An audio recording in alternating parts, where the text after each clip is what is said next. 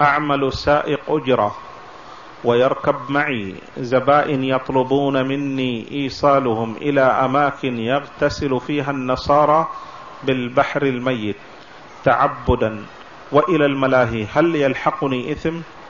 بلا شك. إذا كنت تحملهم إلى أمكنة الكفر والمعاصي فأنت متعاون معهم وهذا لا يجوز. ولا تعاونوا على الإثم والعدوان وأنت مسلم. عليك أن تبتعد عن هذا الكسب الخبيث. نعم.